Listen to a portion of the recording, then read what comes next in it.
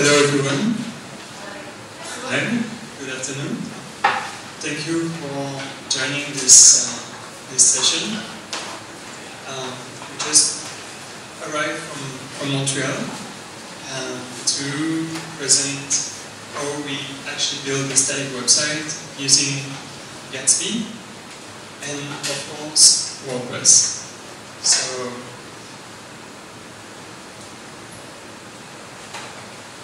it's it's going to be a workshop format um, about headless WordPress and what we it's going to be a presentation about what we used. It will be pretty intense, I can tell you just before. Like there is a lot of things that we'll go through, so we'll try to go one step at a time, as clear as possible, outline the main steps. Um, but yeah, we'll be busy for the next one and a half hour, for sure. So first, we will give you a quick introduction about Headless um, and the tool that we use, Gatsby uh, JS. And then we will jump into uh, a demo presentation and you will be able to follow us if you want on your laptop. We'll have a GitHub, we'll have a full tutorial and we, we will present each step together, but you can do it on your own too. Okay? So, quickly about us. Ben? So hi, um, my name is Benjamin. Um, I'm a front-end developer. Um, I work with WordPress since more, a bit more than uh, five years. And uh, as you can see, uh, I'm a very well knower. and uh, I'm, I'm Michael. I'm a project, project project manager. It's been 10 years that I've been working with WordPress. Uh, I'm from Belgium, so obviously a waffle, waffle lover and waffle maker. Side note, today is the National uh, Belgian Day.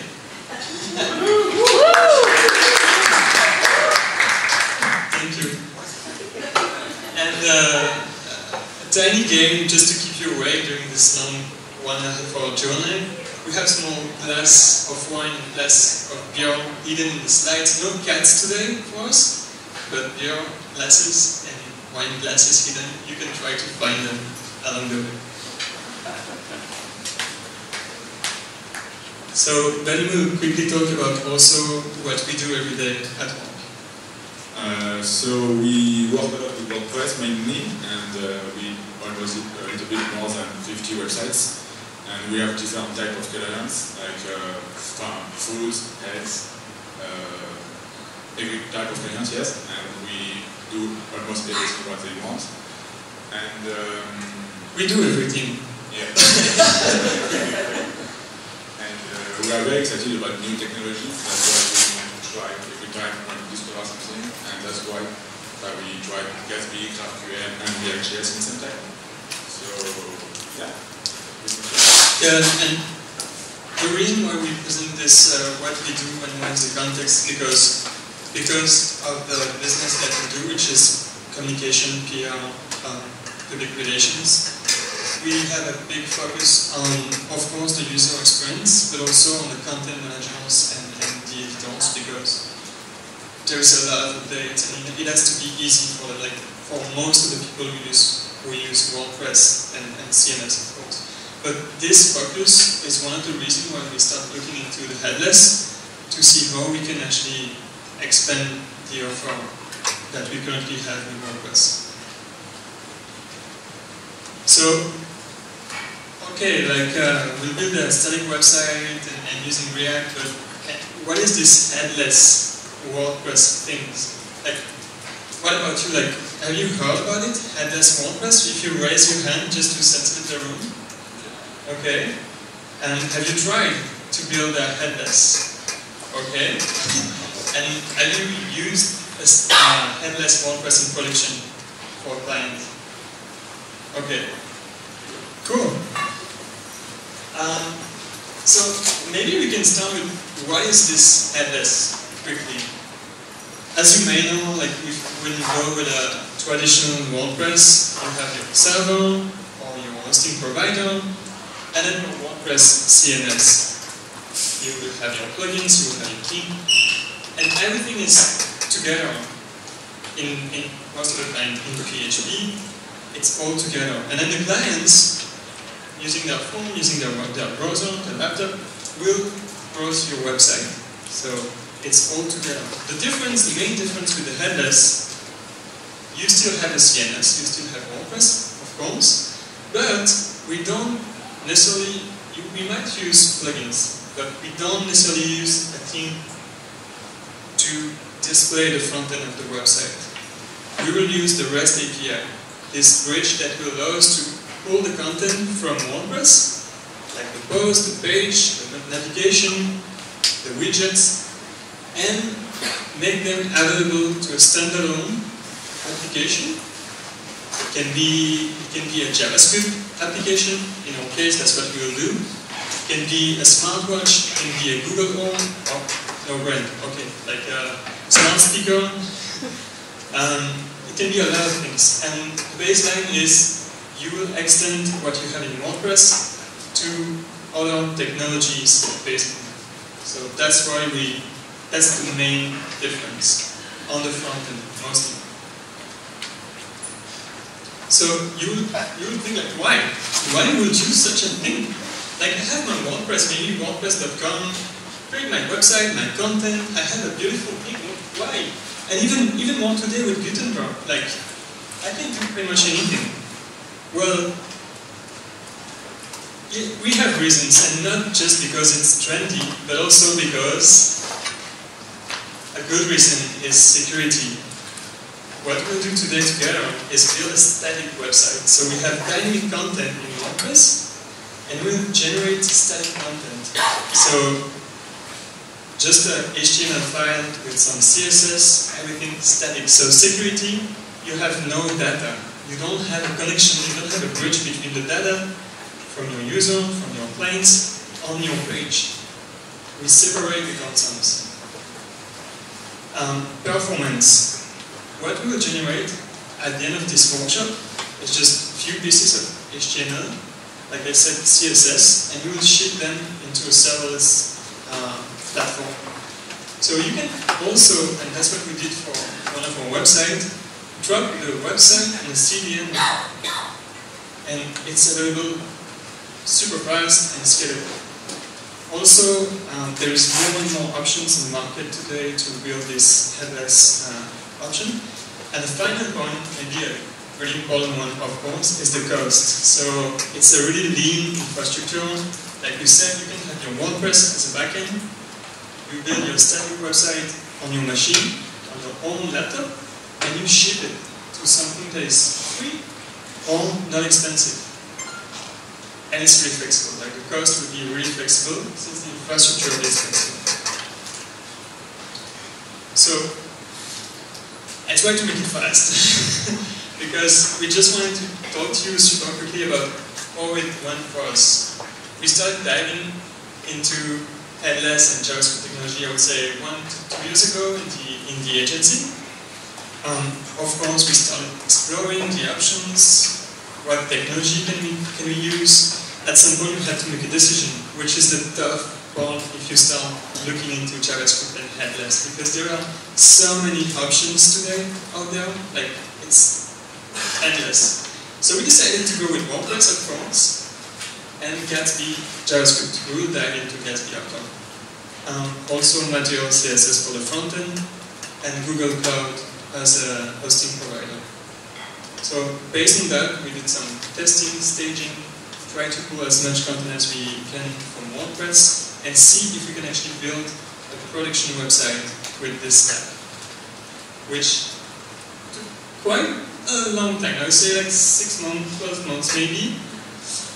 And uh, up and down, like it wasn't easy, like long journey, but mainly because of the ramp up and the technical ramp up. So, but good glass of wine and good glass of beer always help.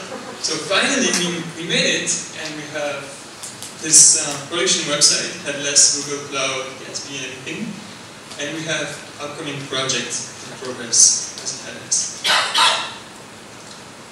So, Okay, so what we will do today is uh, we are for the workshop. We will start with uh, setup WordPress, then setup Gatsby, finally play with GraphQL to retrieve data from uh, WordPress, and display the front, uh, the front end with React.js. So, okay, so this is what we will start with. So, then WordPress only. We have four articles, and the goal of today is to have this page at the end. So, uh, React post page, basically. Just, just a side note quickly, like we will do, we'll just try to put together the post, uh, the, the post the admin. But if you go into the GitHub that we will present you today, you have much more details. You can actually recreate your full website with navigation, widgets, and everything. But for today, because we don't have much time, we'll go straight to the post and list these posts in the static website. Okay, that's good, but uh, how are you going to do that? So, simple. We will start with WordPress at the beginning, and the good thing we don't have to set up anything. We will provide you a URL, a link. Then we will set up Get, uh, Gatsby. Finally, like I said, play with GraphQL to choose data and display everything with React. And like Michael said, we will push our website and uh, search. So, uh, Uh, yeah, sure. So, uh, well, first step has uh, will be the environment. Like, what is the base to start with? Uh, well, we, we suggest to, if you follow the, the what we will do, we suggest you to have Chrome and uh, an ID like VS Code. You can choose whatever you want. Like, if you if you follow on your laptop, keep your your usual tools, but just to have the same base uh, and the same environment altogether. Then, if it's like will install Node.js and NPM and also Git, which are the main requirement to, to start and to install Gatsby and, and all the other tools that we use today. So, these are the first steps. And, and um, again, we don't have a lot of time. We will have to go through a lot of a lot of different steps. Um, if you have, if you want to follow us on your laptop, but at some point you have an issue, technical blocker, like a path issue, network, internet source, so like drop everything and you can follow us after each step. Yeah, so after each step that we have here, we will take a break and recap together. So if you drop the ball at some point, no worries, everything is in the GitHub and you can catch up between the steps. Okay? So let's do it.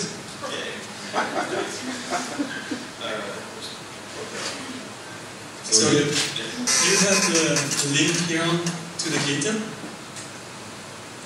Yes, Solomon? Solomon? So if you cannot read it, it's uh, Rebrandly,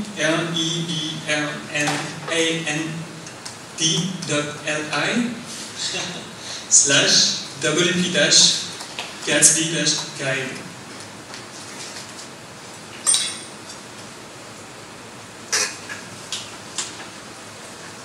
You got it? Everyone is okay? So this is a link to the, the GitHub tutorial that we prepared for this, uh, this presentation. Of course, it's, it's the first time that we present and that we will do all together this tutorial. So if you have any comment, any question, we can discuss that at the end. And uh, yeah, feel free to let us know. So I won't answer Chrome and VS Code because I am already using them after them. So yeah, we, we will have to install Node.js and NPM. And uh, yeah, maybe um, if you want to do it, just uh, do it now and it will take like five minutes to do that. Yeah, this step should probably take five minutes if you want to follow. So we will, we will do every step on the screen.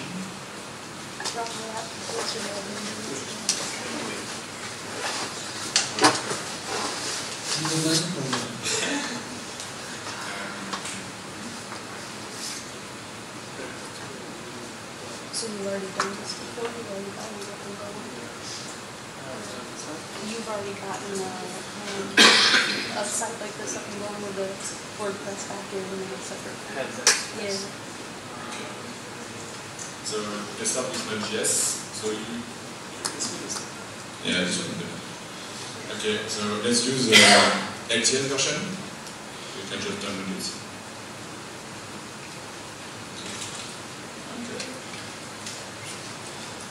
There is, well, just need to, just need to follow the steps. Very correct, like we use. Last time. This is probably the less funny and exciting part.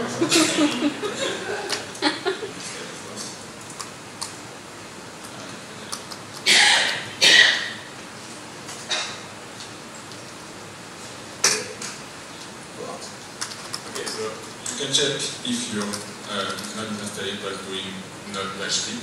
So you, should have this printing on your terminal. Can you, can you see? Is it is it big enough? Yeah. Yeah. Okay. Yeah. Okay. And if you don't have a terminal, I'm using the uh, iTerm2, but with VS Code there is a built-in terminal inside, so you can use it as Yeah.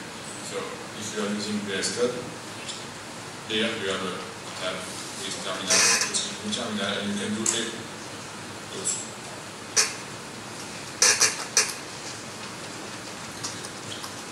You can do everything from here.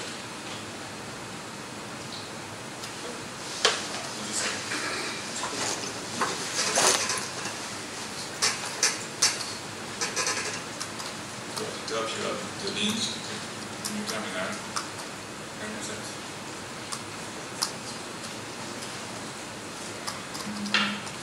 So, what to do after? So once the Chrome is done, the VS Code is okay, NPM, NPM is coming you don't need to it. So we can check if install is running, for if it's stop. Uh. Okay, very good. So we have no npm installed. Oh, uh, you will have to install Git too, in Git at the same time. So just, you can just by using this command Git to see if you have Git on your laptop, because you will need to download the Git.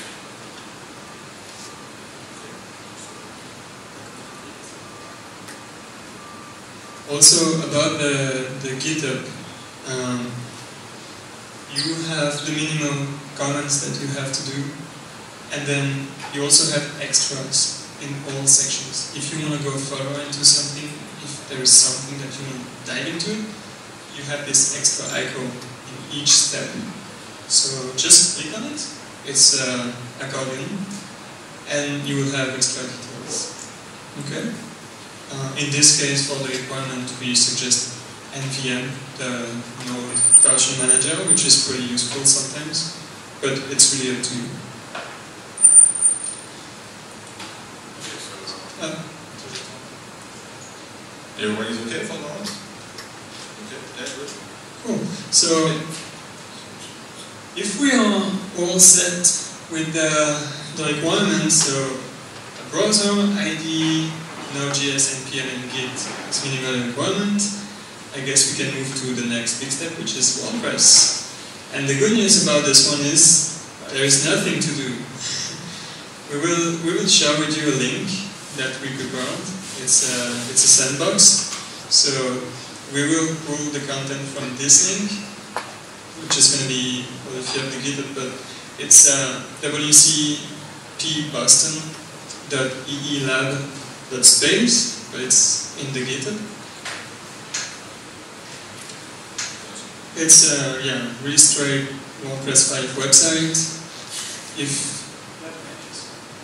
Yeah. Yeah, like we also have images. It's Gutenberg based also, and uh, that's it. It's gonna be the, the base for the, the API. So- that's good. Yeah. So next, uh, we will set up Gatsby. So first, we have to install uh, Gatsby CLI in order to use uh, Gatsby command. And we will uh, yeah, uh, after Gatsby. Uh, then we will create a page.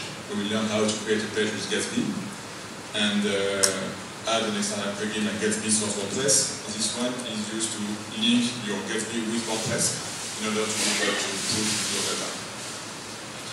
And there's a bonus, but it's, it's only if we have time. We will discuss later. So, good now. Let's go back to the detail and start Gatsby. So, the only thing you need to do is this command line. So to install the Gatsby CLI, you need to do it with the stack dash in order to be installed globally on your laptop. So let's do this. I'm sure you can hold the mic and type. No, no, Let's try. okay, so There we go.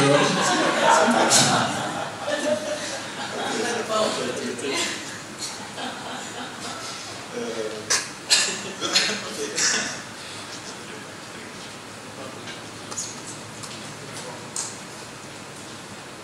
So let's do it. It should take like a few seconds. It's very fast. Should be fast. Fingers. Okay, so you can check if Gatsby CLI is installed as this Gatsby. Okay. Maybe about Gatsby itself. Gatsby, Gatsby is. Uh, I try to make it short, but help me. Um, it's it's a framework uh, that will allow us. How can I say that to pull the well? yeah, yeah. That's it's really a static website general that will pull the content from one source, create your pages in, in React and JSX and all the modern JavaScript stack that we know, and make it static website in HTML and CSS. So what is interesting with Gatsby is it's a framework that comes with a lot of different um, tools and, and plugins that you can plug together and do a lot of things in images optimization, content optimization, GraphQL that we will talk about. So the, that's why we decided to go with this one. The documentation is also really clear and uh, up to date in the version 2. Version 1 was a bit more tough, but today it's, it's really nice. So it's a, it was a good start for us. We, we tried Next.js and other tools, but yeah, Gatsby was a, at the end a good contender. So, uh, in order to create a new website with Gatsby, you just need to do this command line Gatsby new and just type the name of your project. So let's say. Uh,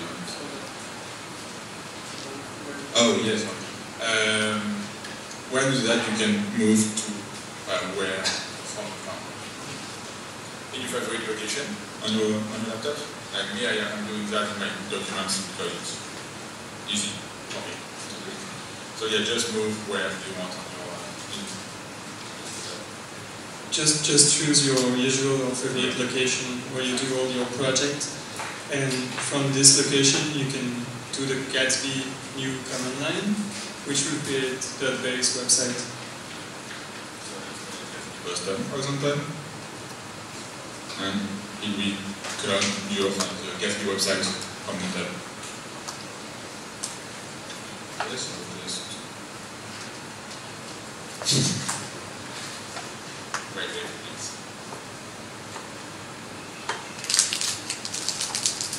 So this this step, when you create the new website, will create for you the folder hierarchy.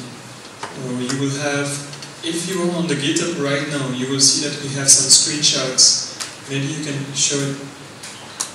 You know, yeah. So it will it will create the the hierarchy for the website. We'll have the SRC, where we will build the pages or use the pages. We will have the public folder, which is the result of what we will build. That's where the static website will be. And then we have some key um, files like Gatsby browser config and uh, the Node.js that we'll use to configure plugins, to configure links, and, and everything. And then you have, of of course, cache and node_modules that we won't talk about today. Okay. Okay, so you should be done. So you can move to this uh, directory up, and, and you have to install the this dependencies by doing npm install. So this one is is reading the package.json and uh, just downloading all the dependencies that you need to run your website. Okay, and finally you just need to do Gatsby develop in order to run the development server.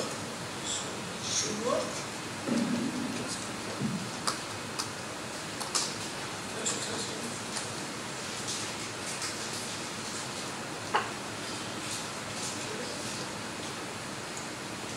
Okay.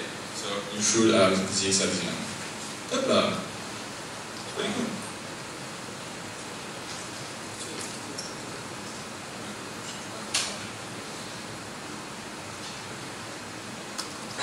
So yeah, this one is very important. See, if you don't do that, you cannot try, you will not have your website. So yeah. And uh, so when you, when you do this command, the Gatsby develop, Gatsby will actually run its own uh, server locally, like Node will do it. And uh, that's what will allow you to actually browse your website on your machine. And when you click on the localhost port 8000. Okay. Uh, everyone is okay? Is good? Yep. Okay, so what we need? Yeah. Um, so what we did quickly, we installed Gatsby CLI. We oh, uh, uh, it was it was too fast. Uh, yeah, we talked a little bit about those folder and file, but inside the SRC folder, you have you will have three folders. Um, folders. The component one is where you put all your elements, features, plots, everything. Image, right. And page is where you create all your templates. So we will play on inside. So okay. But, So inside this folder, the SRC folder and pages, every time you put a JavaScript file, uh, Gatsby will automatically create a page for you with path and everything. So let's do it. Just go uh, move inside the SRC slash page folder, and we will create a page named post.js.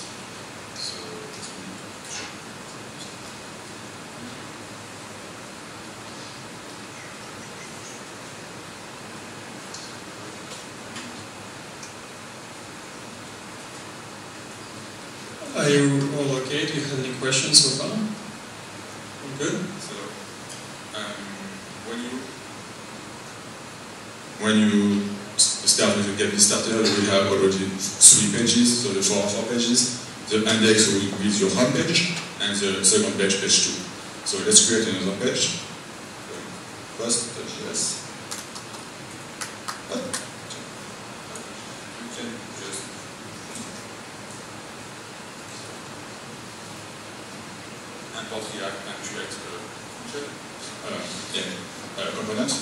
So just save, and it should have compiled automatically. So let's test. If you uh, you can navigate now to the uh, slash post where uh, every time you create a file inside this folder, Gatsby will automatically create a page for you. So let's try. And yeah, first page. Oh, it's already okay. I think we have a page. Um, okay, so last step is to uh, link our WordPress with Gatsby. So, like we said, we need to insert the link that is on WordPress. So, um, in your um, at the root of your of your of project, you will have to install this plugin. So, you can stop your server by doing Control C or CTRL or CTRL C for Windows. So, yeah, it.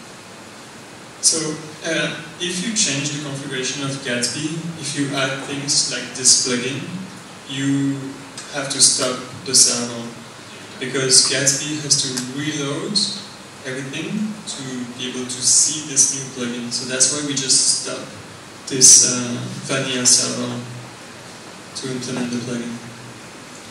Okay, to uh, pass a few configurations for this project, for from this plugin, sorry. So let's copy everything.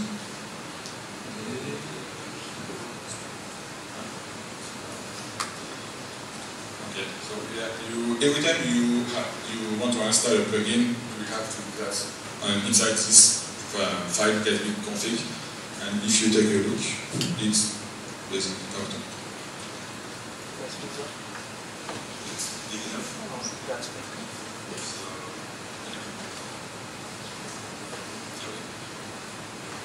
So here is where you can install and add all your plugins. And Gatsby already add a few plugins for you, like plugin React Helmet, Transformer Sharp, plugin Sharp. So if you want to add a new plugin, just copy paste the, all objects from the plugin. And this is where you put your WordPress URL uh, link. So you can use this one for the moment, but later if you want, you can use your own WordPress. And you can say like, okay, HTTPS or HTTP. And there is a few configurations, like for example, if you want to use ACF, you, uh, you need to set this to true, otherwise you, will, you won't be able to put uh, your uh, data from ACF. Yeah, yeah. Uh, yeah, that's it, so just save, restart your server. So Gatsby develop.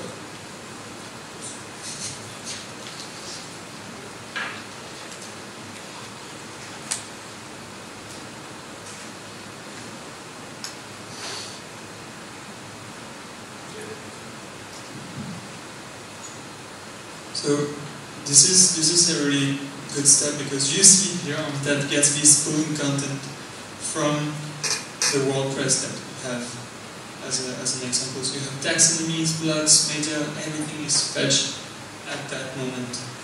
So that's how we have all the data in Gatsby and then be able to go to the next step which is use these data and display this data. So yeah, you can see the difference between the begin before we can start the plugin. So there wasn't any WordPress data, and now, up, you have everything here. And also the, the number of posts. So you can quickly see if there is something wrong. Because you see, let's say, four posts. If you have 200 posts on your website, you know that something is wrong with the API. Or if you are trying to fetch, let's say, the navigation in the API menu and you have zero, you know that something is wrong too. So when you build, you can quickly see if everything is good with the data. Okay, so let's go back to the website. Okay, so now we we linked Gatsby and WordPress, but that's good. But we need now to retrieve those contents. So let's go back to here. So what we need, yes, we install Gatsby, we create a page, and we add the plugin in order to link both of them. Which means that we are all set to finally work with WordPress and, and this Gatsby so in order to pull data from WordPress, we use GraphQL with a query language for the API. And it's very good because you need for ads, so you, you ask for what you need and you get exactly what you want. So it's very, very good, very fast, very, very, um, um, It's amazing. yeah, it's amazing. It's, it's magnifique. A. And, and if you saw the talk from Etienne yesterday about GraphQL, he can talk to you about this technology much more than us. Who is in the room.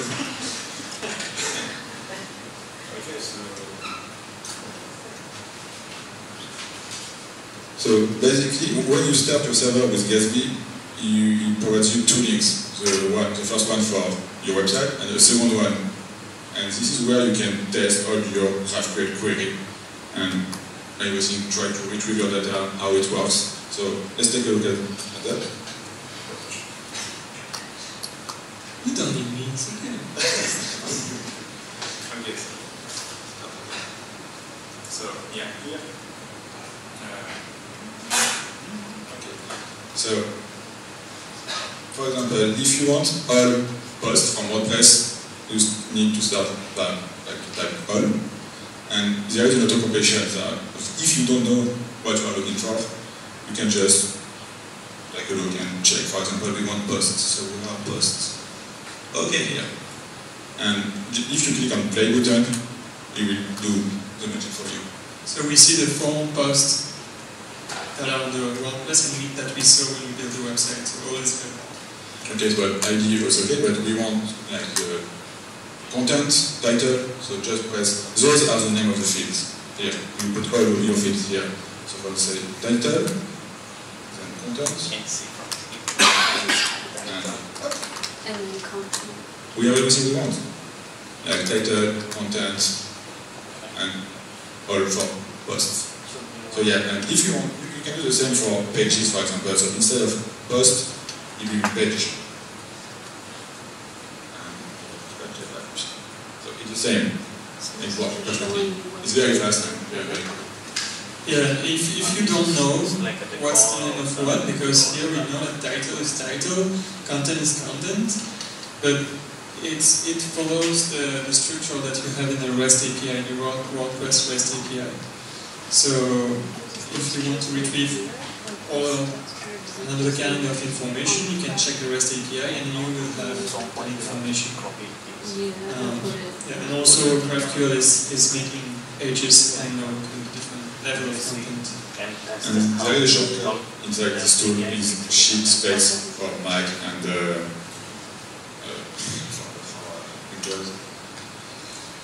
it's uh, ah, no, the control space bar and it will open the ah, yeah, the, what, what, what, is, what data are available and what fields just the results. Okay, so now we have Ah. So you can pull all that information. Okay. Okay. Uh, so yeah, we just did a quick tour about GraphQL, but now we are able to. Sorry, I, I may have missed something.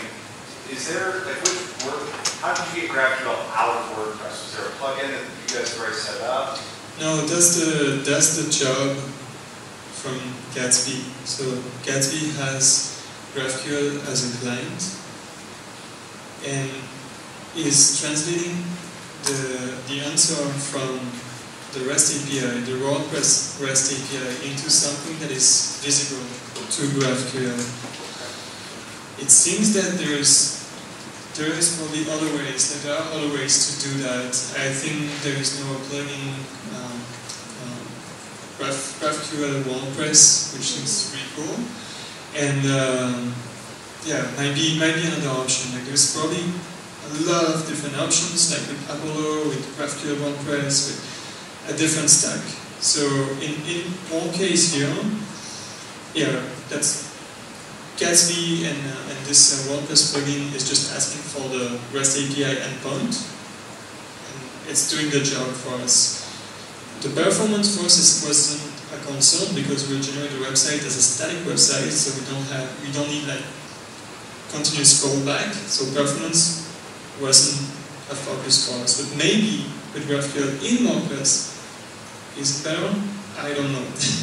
maybe yeah. We need to try this.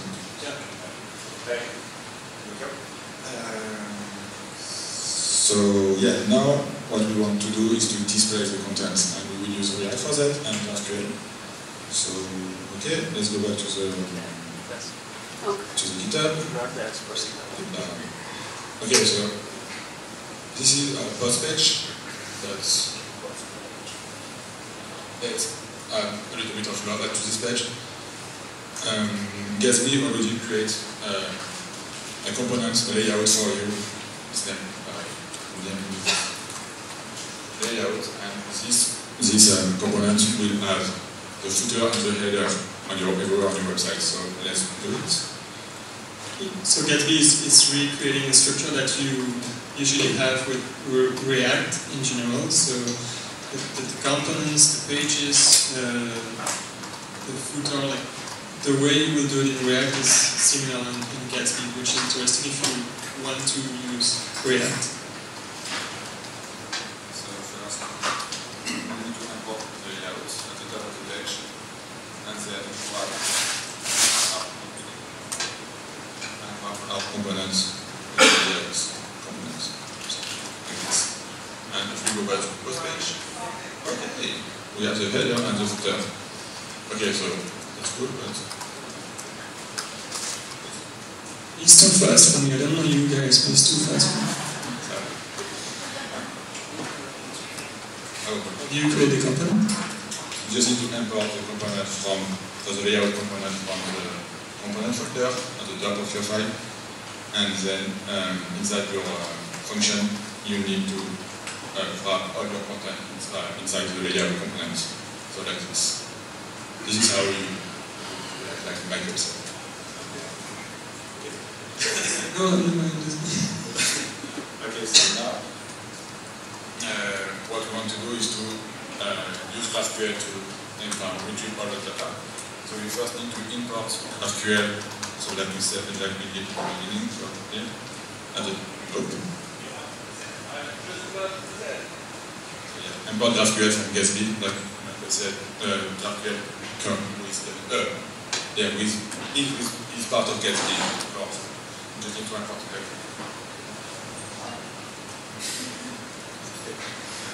And then the query we did in uh, this tool, you can do it exactly the same thing, but the same way in your uh, React components. Okay, so you need to export a query, and this way. So at the bottom, you can put it at the top or at the bottom, it doesn't matter. Just, well, I used to put it all the time at the bottom, just So that was just a visual. more audible for me and for other developers. So yeah, this is a query, and here we have all posts, and we want the title and the, con- contents. Which is exactly what we had before in the GraphQL interface, if you remember. It, it's really a copy paste. Exactly. Uh, so, if we save, for the moment there is still nothing. So let's now, how you, uh, yeah, how we display the contents inside uh, a component. You just need to add all of this code inside your function, like this, below title. So basically just, um, take a look here, it's a big array with all your posts. So it's a, like a collection of array, of, uh, of, of objects, sorry. Okay, so that's why you need to look through each um, object and display them like this. So we need the title and the content. So post is just my the name of my variable, and the title is node and title means that we are looking for the node and title and node and contents. So if you save and go back to the post page, oh, Oh. here we go. And you have the content.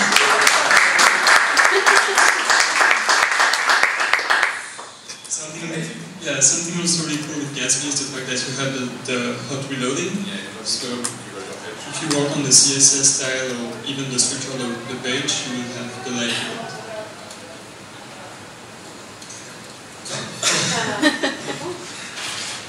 Okay, so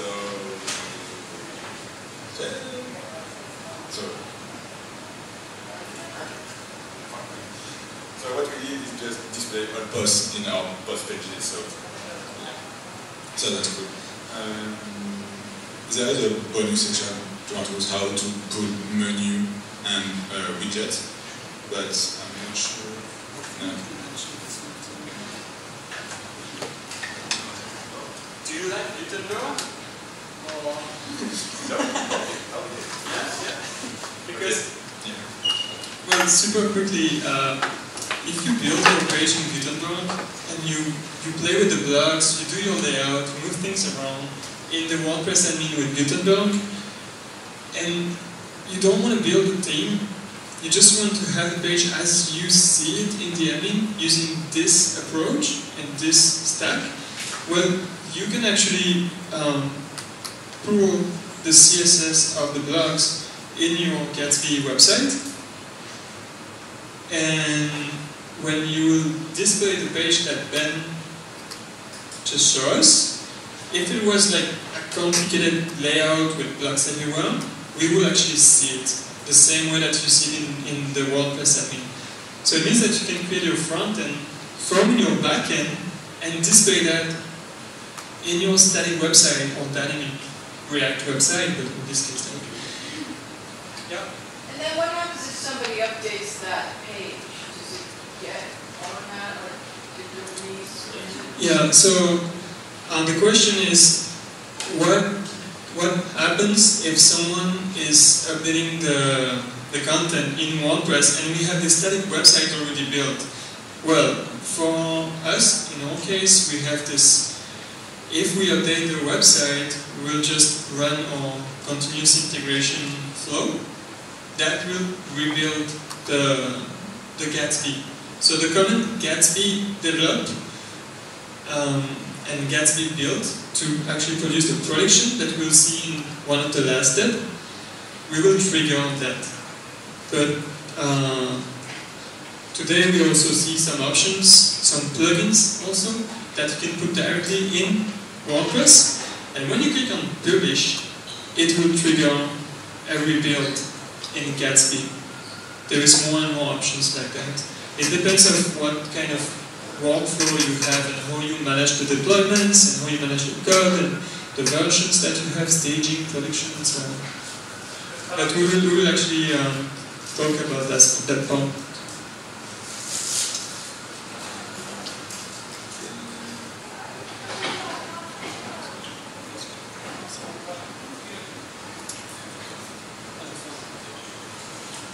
So um, inside the GitHub, find everything to how to put content, uh, put content on ACF, links, menu links, and widgets.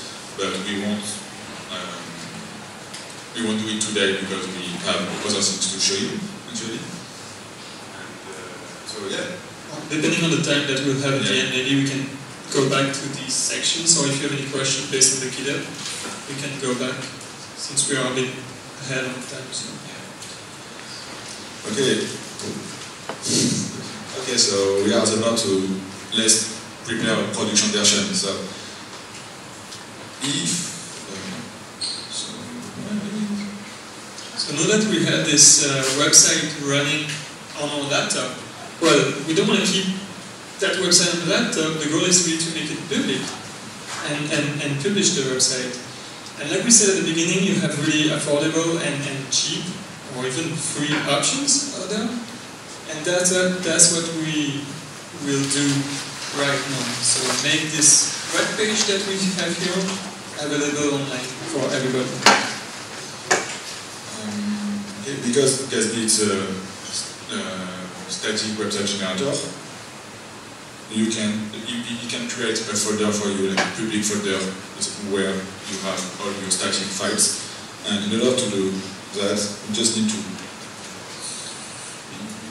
just need to run a command with Gatsby build, sorry.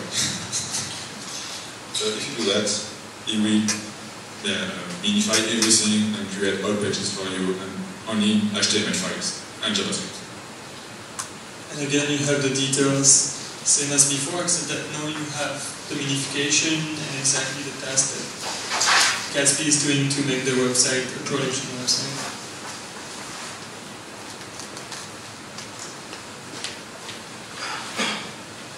So it's compiling also the GS6 from React into HTML pages and JavaScript CSS pages.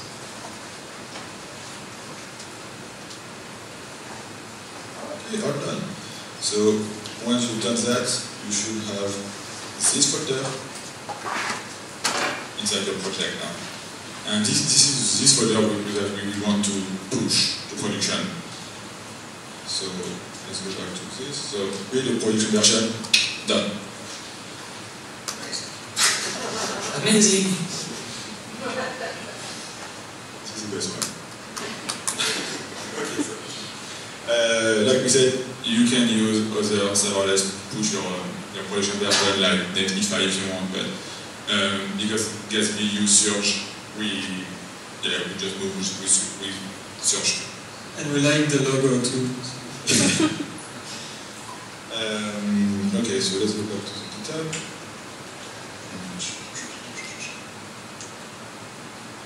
Okay, so Surge is free, but if you want to use it, you will have to create an account. at the beginning, but first we need to install Surge like we did with uh, Gatsby. So let's go back to our terminal. Okay, and let's install it. Something that we didn't mention also with the WordPress that we use for this uh, example, we didn't change anything special on, on the WordPress. We didn't change the code, we didn't sell plugins, like it's, it's really WordPress, vanilla WordPress with the REST API enabled and visible, but that's all in case you want to try. You can also use a WordPress.com website as long as you have the. If you have custom post types and custom taxonomy, will it be like, will it know, or do you need to install a special plug, Gatsby plugin to know like there's custom taxonomies and custom post types? So the question is, um, how do you make custom post types, taxonomies, and, and all that visible to the REST API and, and also to pull this information in, in Gatsby? Um, well, for example, for the navigation and the, the menu, and also the widgets, we had to use a, a plugin, which is probably a downside um, of that approach, and that's why we would like to dive into this GraphQL WordPress option to make it easier. And for the taxonomy and uh, custom post type, Yeah, for the taxonomy and custom post type, it's a little bit different. You have to do that um, from WordPress. You need to, when you create your custom post type, you need to have a few options and set. Uh, it's uh, show show to REST API. And you need to set it to true. Otherwise, by default, it's not set to true. It's to false. So if you don't do that, you won't be able to uh, retrieve your data from your custom post type. And it's the same with the taxonomy. You will have to add a lot of code inside your Gatsby config.js to link your taxonomy to your custom post type. Otherwise, it will be just a bunch of taxonomy, but not related to your post or your content. So yeah, you have to do that from inside the WordPress for the custom post type and the taxonomy inside Gatsby. Uh, I can show you after with another project how to do that, if you have time. Okay, yeah, so Surge. Uh, just. Okay, so so if you want to push your public folder with Surge, you just need to from your um, at the root of your project, you just need to do the command Surge precise the folder that you want to push to production. Just press enter. Okay. So it will ask you your email to register. So you do it.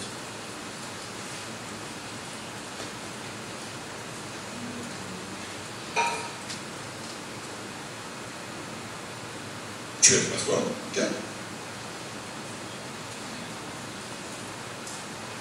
And this is this will be the, the final URL for, from, from, for yeah, it will be your live version of your website, but it's um,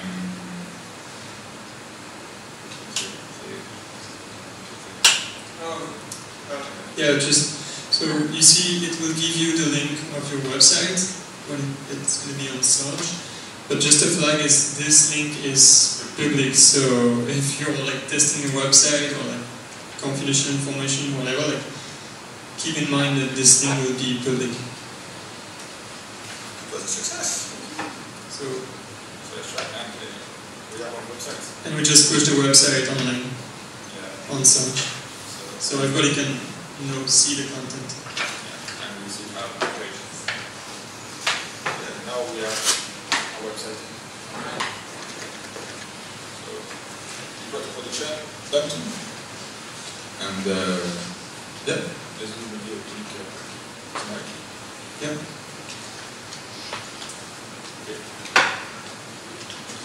Yeah, sure. So, um, well, we, we did a lot. Uh, And we was it. Anyway, it was a, it was a fast.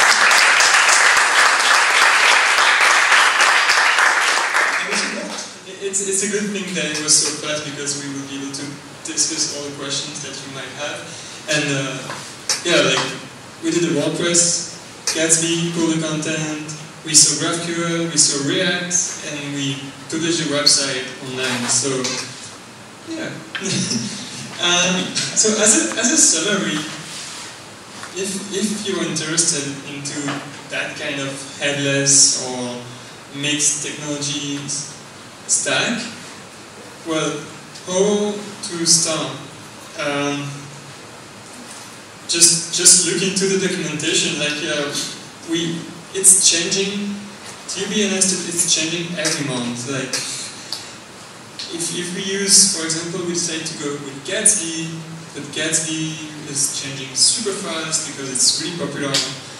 Um, the REST API too with WordPress, like we said, you today you have different options with the um, WordPress GraphQL plugin, so it's changing too. But try to explore maybe what also fits what you have to do, and, and if it's for business reason, what is exactly the business? Also your flow, like how do you how will you actually update your content, update your code? So maybe think about all these, these parameters and, um, and, and decide what will be your stack. And then like stick to the stack. Like uh, sometimes you will have blockers, but yeah, it's, it's really tough actually to design the full stack that you will use.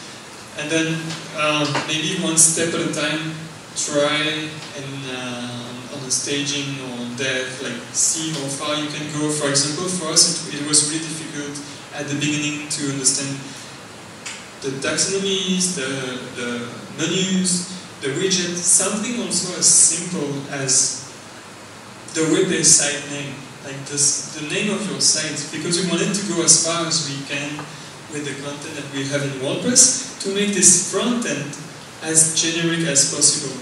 So if we create pages, if we create navigation, we just want the front end to reflect that. And, and yeah, again, today is changing. You have Gutenberg making that much more easier. Maybe two.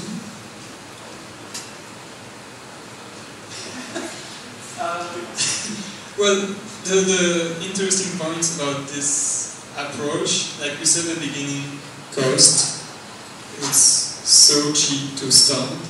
We decided to go with Google Cloud and we only have this blob storage in Google Cloud, like a CDN, and we can increase it to millions of visitors on the website. So it's, it's cheap, it's scalable, it's flexible, and it's also if let's say tomorrow you don't like your provider anymore, it's fine. You can just easy take a new one. You don't have a full infrastructure to rebuild. That's also an interesting point because you don't depend on the infrastructure. So backups are easier, uh, migration are easier. If you create a project and you have to ship it to your client, you don't archive, you don't package your WordPress website with htaccess, GURB files, like GURB files maybe, but like you don't package your WordPress with a PHP file, just package the result if you want, if the client wants to work on it, it's a different question, but yeah, it's easier. Security, there is, you don't have any data on the website, like you can challenge any hacker to crash your website. Go for it. It's a, it's a static website. And um, if you have forms, if you have dynamic um, interactions with your users, you today you have functions like uh, AWS Lambda functions that allows you to create flows, dynamic flows, create forms. Uh, Netlify also, they have functions on Netlify, so to make some parts of your website dynamic, like a form. Um, performance and scalability, I think, don't need to come back to these ones. It's, it's clear for everyone. And yep. And uh, about the flags, it's because we are using with the stacks uh, a lot of technology like uh, Gatsby, WordPress, GraphQL, React.js. It can be confusing at the beginning and your, your learning curve can be very long, but um, it's very exciting at the same time because you learn a lot of things. Very challenging at the beginning, but once you've done something, it's very, uh, very, very uh, cool and you want to do more and to discover other things and to, then to try something else every time. But yes, uh, it can be very long and the, the uh, you can get lost very easily. But with Gatsby, for example, the version one was like documentation. It was there is no documentation.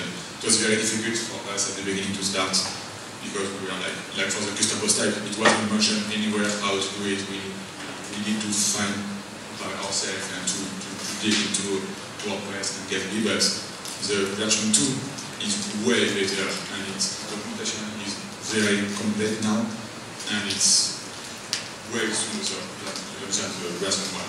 Even even images because uh, there were some issue between uh, Gatsby plugins and it was nice to try to fix them but with the version 2 if like a thing on the nose And less of point again. I again yeah always always one everywhere And, and something quickly about the, the, the stack, the hybrid stack idea.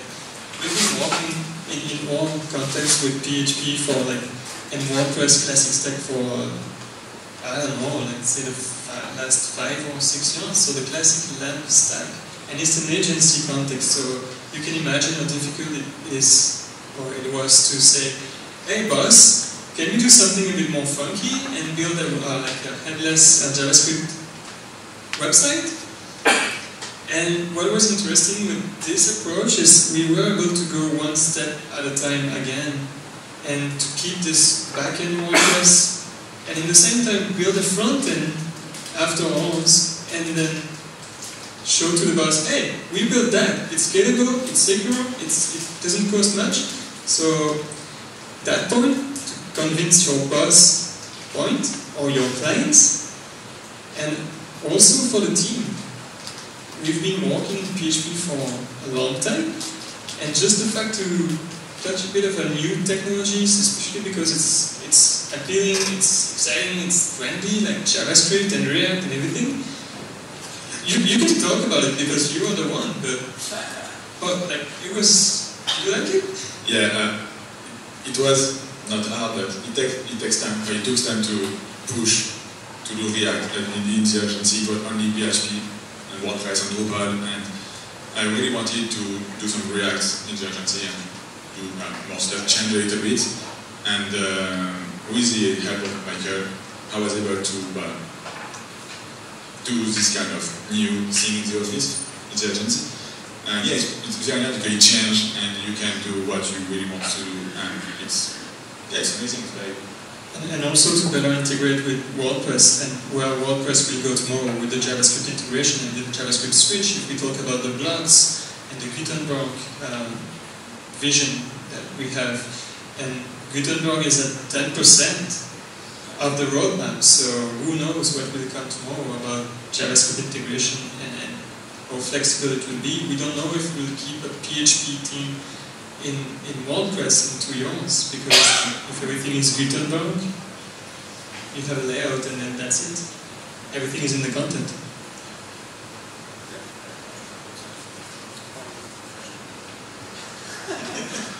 I talk too much, come on.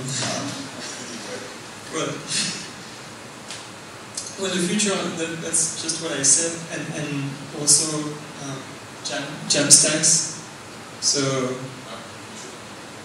Yeah, I, you should talk about Jamstack, but I'm just curious, working with clients, if the, if all the presentation layer is in the Gatsby, right?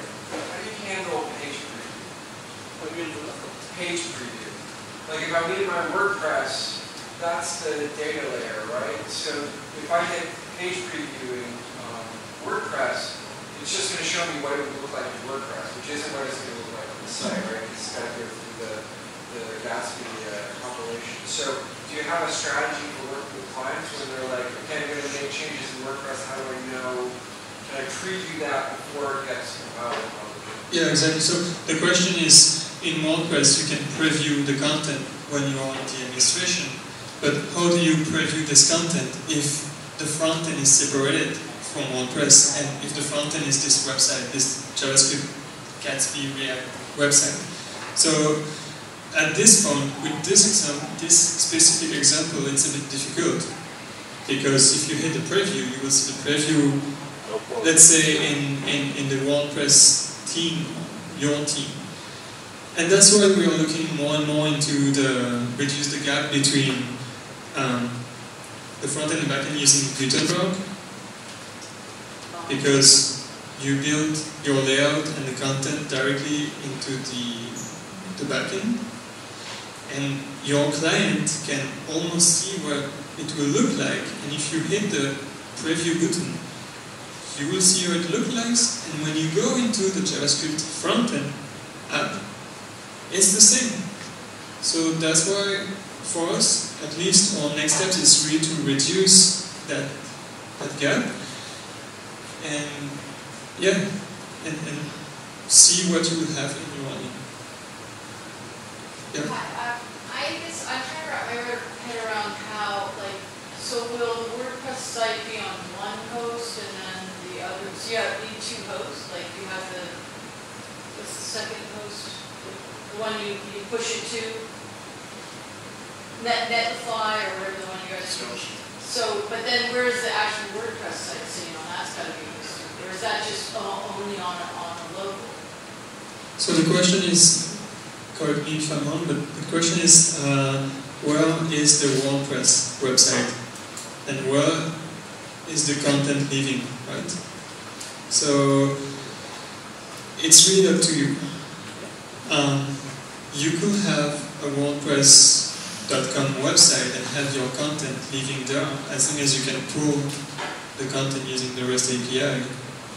You can have your your own server and uh, with a LAMP stack, and then you have your WordPress installed, or like a, a pre-built WordPress. And like if you go on Google Cloud or providers, GoDaddy or other providers, you have this pre-built WordPress option. Or you could also have this WordPress on your machine. Um, I, I don't know if we have WP Engine people in the room, but with the WP Engine dev kit uh, of flywheels since they're together now, but uh, you can have your WordPress running on your machine, you build your content, and then you ship it to the front end.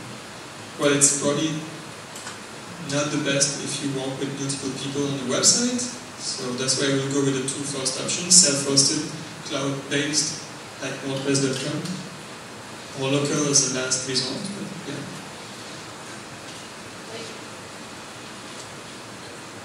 Yeah, I guess I'm curious, uh, so once you have built the static site in Gatsby and you deployed it, do you, do you at that point need the WordPress site there in order to make the GraphQL requests, or were those made during the build process only? I mean, the, it- it's a static site, it shouldn't be making an Ajax or a fetch.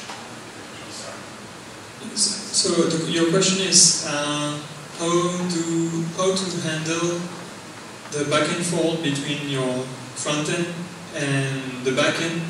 Well, I'm wondering, Ajax I'm wondering when the GraphQL requests are being made. Is it during the compile process in Gatsby, or is it at production time when the site's been deployed to a site like Surge or wherever? I mean, do you, do you need anything, for, for example, images? Do, are images copied into the public folder as part of the Gatsby build, or do you get those dynamically from the WordPress site in production status?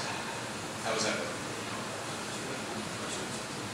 Um, yeah, so the, the again correct me, but uh, if the question is how and where and when do we compile everything, including for example the images, and where do they live when you build the Gatsby and when you ship the website? That's right? Okay. well it's actually a really, really good question because it was it was a, a difficulty for us our goal at the beginning was to have the static website totally standalone. And we have this WordPress, and then we have this front end, and we just want them to be separated as, as much as possible. And at the beginning, when we put the images with Gatsby, what happened is it was keeping the link, the URL from the source website. So let's say that it was wcpboston.elab. In Gatsby um, build, we were seeing that, which was not okay for us because maybe we want to terminate this website. Maybe we want to separate them really. Maybe we want to bring it to a CDN.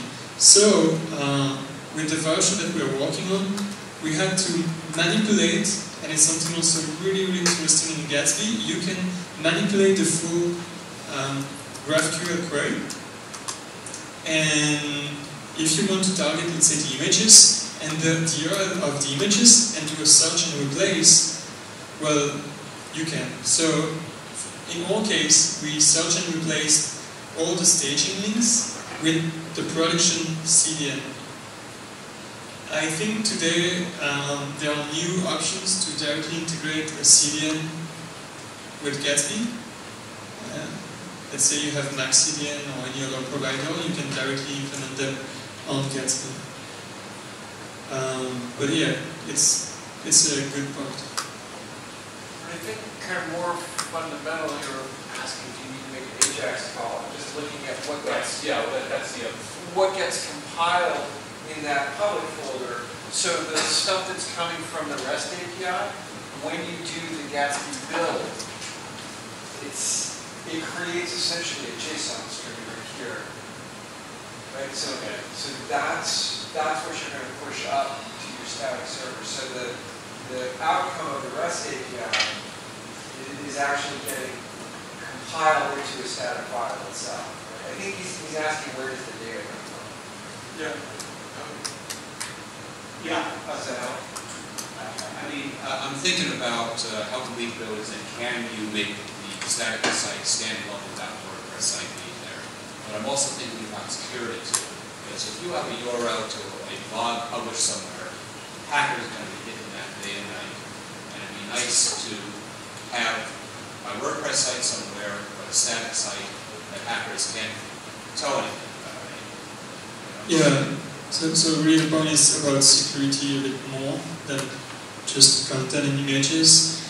Uh, and, and yeah, like the goal is really to separate the contents, to separate the architecture, and uh, how to handle, for example, the, the, the Ajax call. And that's why if you if you go with this option, maybe you are used to uh,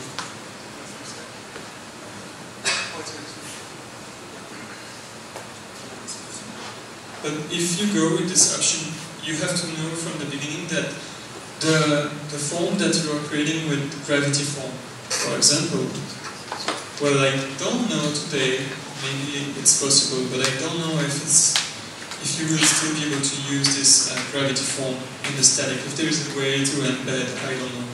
And that's why if you go with this option, you have to uh, allocate some time on finding an embed, embedded form provider uh, and also implementing this uh, embedded form. I can give you the example of a project that we are working on right now. We have uh, the, the content and the WordPress as a backend, and then we'll have this front-end static website. So we prepare, we are preparing, um, in this case, Lambda functions to handle all the, the, the form. So we build the form as an HTML like static, just HTML and CSS, and then all the data, send, post, verification, any communication that you should have, let's say with a database. If you want to retrieve the list of uh, countries from the United Nations in your form, this has to be dynamic. Or if you want to say to check if your customer is in your database, this is dynamic. In Gravity Form, before or today, you are checking your DB to see if it's actually, for example, a WP user or a user on the DB. But if you use this, it's in the Lambda function or in any embedded function that you will have to do it. And when you have a form, you put your name, you have to check like with a, a JS trigger, go back in your database. Let's say you have MailChimp. You will go back in MailChimp and see if it's an, an existing user. Same if you send this form. If you use I don't know if I can throw names like that, but if you use any form provider and then like um, JotForm, SurveyMonkey, any any provider that has a good API and embedded form, that's what we do. And for us, we had to do this switch and to stop using Gravity Form. Not that it's bad, but just because of all the regulations going on right now. You have the GDPR, you have the CASL in Canada, you have the California law about data that is also tough. So we wanted to separate the concerns because at some point we're just not able to tell our clients, yeah, we will build a website and everything will be contained in your website and you will go in the backend and see your customers. We cannot do that. Like it's too risky on the security standpoint. So that's why we had to separate. I don't know if it so the questions. yeah. Uh, I guess we'll experiment and see. I Sorry? can experiment and see, watch for Ajax calls. Yeah. Literature is. I mean, it- I've, I've heard that that's like Netlify, like, that's one of the services they provide, right? Like forms that can be embedded in a Jamstack style. So if you're, if you're going this route, you might look for a service like Netlify, a couple others, but specifically that's part of the service. they're. Yeah, and it's it's also difficult to choose again. It's it's an additional choice that you will have to do, like because yes, if you go with Netlify and then there's oh we have embedded form, but will it fit what you had before? How much does it cost and everything? So yeah, it's an additional thing to look into, but but these are concerns that you will remove from before, like when you were in, Gravity Form and you had the, this, uh, or your WordPress and you had to send information to a CRM or MailChimp, you had the same concerns. The only thing today is it's a change, it's a shift. And yeah, depends on the time you start. I'll make it quick. Uh, So for, in your example, with your stack environment and the decisions you made, I'm still trying to wrap my head around um, the hook that you have or the process that you have that's still allowing the content living in the database to then be displayed through the static implementation. Is there, is that part of what this demo is also showing? And if so, what is that hook that that talks that data from your WordPress into your static JS implementation. So you, mean the question is how we bring the data from the WordPress to the static? Yes, to conti- to continue to display the newer content that is done after the build. When you have updates, for example, when, you create a new post and then you have an update, how does it go to the static? That's your question? Yes, update to Yeah, your yeah. posts. Yeah, yeah, yeah. I'm just, this is all new concepts for Uh-huh, me. yeah. Uh, well, you have new plugins. Uh, actually, I will go to one of the last slide there. Be easier. So, actually, one of the last one was about Jamstacks integration. So Okay. it's a really good question to introduce that. Um, if you're concerned about that, or if you- you're curious about it, you have this. So it's a lot of links. so the most important is, are the two here for the slides in the the GitHub. Um, but if you are wondering how to update and keep your state content linked and up to date with WordPress, well, you have two options. Let's say that you have your WordPress here. Um,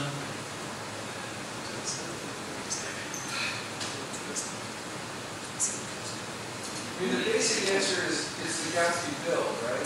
it's, it's the, it's the Gatsby build. Yeah, so when, when you type Gatsby build, that's the thing that generates the new static content. So you have a script that says Gatsby, Gatsby build, and then surge deploy.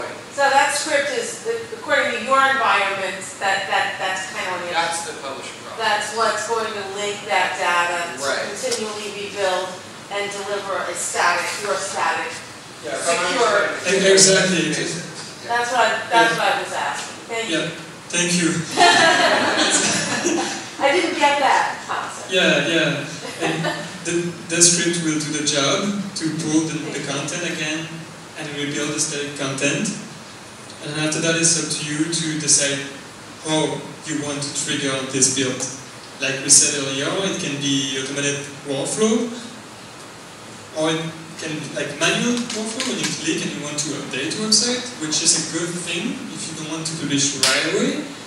Or you can use a plugin that allows you when you post or update to re-trigger this uh, script and, uh, and ship, the, ship the new version of the site. Are these essentially bash scripts or they're completely, they're not bash scripts in essence, they're completely No. No, there are no right? JS. No, Yeah. they. Okay, There are no JS Okay. scripts, yeah. thank you. Um, my question is, what's the advantage of using Gatsby, which is a static site generator, that every time you have new posts, you need to re-update and redo your Gra- Gatsby build, compared to Next.js or React, which are like more dynamic. Um, so you don't have like it's not this React and uh, Next are not are Vue.js or Vue.js, but they're not like static site generator. What for you? What are the advantages of using like React or Next and compared to Gatsby? Well, I will tell you a secret. One of the websites that we built is, I think, one tone uh, static, like flat uh, HTML, one tone Next.js dynamic, and one tone uh, Gatsby results. So we've been able to compare like what is the, the, the advantage and uh, and the simple answer is the complexity of the production server.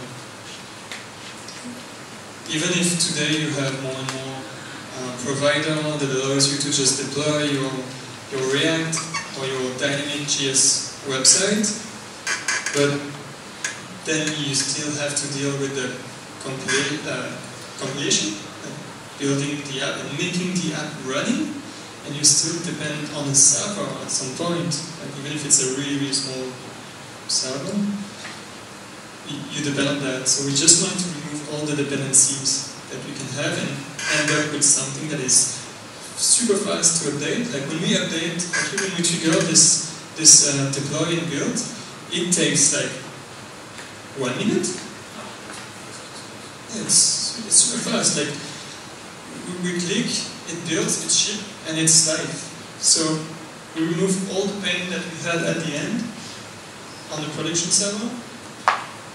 And yeah, like yeah. I, I don't know if you want to say something about Next.js or like, why why was wishy-washy. Um, we try, yeah, like I said, we tried Next.js, and when we want to use, like when, when we are going to use Next.js, it's because we we need to play with the database. You can do that with Gatsby, because it's a static website, but with Next.js, we need one to push data to database, to retrieve data to database, update database. And with Next.js, you can do that because you can update your server, not your dot server directly with Next.js. It's very, you can do it with Gatsby, but it's way more complicated than in um, Next, very simple. And if you know how to do it with, with uh, Node.js, you can play with that. But yeah, when it's just like no, no, um, uh, yeah, no interaction between your database, we will go with Gatsby for sure. But if we need to play and talk to the database, we will use the Next.js. But both are very cool, and I love Node.js, but according to the to the, to the need, yes, according to the need, we will choose one or another. Very quick, I know this would be a whole talk on its own, I'm sure, but for those of us who already have a WordPress site that's already like, uh, like, doing this sounds amazing, I want to move in this static direction, but I can't build React components for all the different pages of the site. Like, is there, a- is there, do you know off the top of a good resource to go to for how to make that migration, how to begin that process? Can Gatsby pull down a copy, like, what would be your recommendation for that? Yeah, it's a it's a good one. I don't know if you got it. Yeah, like if you have an existing project, how do you move to that, basically? And uh, well, you you also have WordPress plugin that can statify, staticify uh, your website. I, I heard that people are using that for production website and big websites. We will actually try one for a specific client soon. We'll see.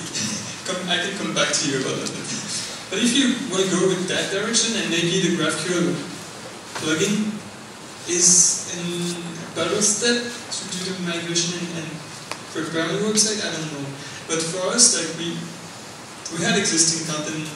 We actually started from an existing website. And before we migrated completely, we just wanted to make sure we were able to pull all the pieces. So yeah, one step at a time. Can we can you pull the, the post, the page, and it was pretty easy actually. Like except the ramp up, the technical ramp up on the on Gatsby or the stack or the more the continuous integration deployment that we had to figure out. Pulling the content was was okay especially today where you have more options and resources about it. We can we can chat about it after. I think maybe for everybody, or maybe to go on with your answer, like when you're doing headless project with WordPress, like the backend is the backend. Every plugin plugin that interferes with the front end, you cut it out. It's it's not. You have to build your own front end, like starting from scratch. So it's really like you're cutting yourself and it's really, there's powers to it and there's like disadvantages of going that way. So you always, depending on your needs or in different projects, you gotta find out a way, what's the best for my project to go in. Because there's a lot of trade-offs because all the front-end plugins. So if you have a client that needs all the, those different front-end plugins, it's probably not the best because you'll start from scratch. But especially it's a big website and you need a really fast and, and like new kind of UI, it's probably the best way to go with React or Gatsby or any of those new tools. Yeah, the decision about your stack will really depend on your business needs and, and the client and, and, yourself, what you're comfortable with. And, and also, it's it's a ramp up. Like it's it's a big change and big change in the approach itself. But then once you get it, it becomes really really interesting. And also for the client, like we said, with the Gutenberg switch, it's pretty seamless.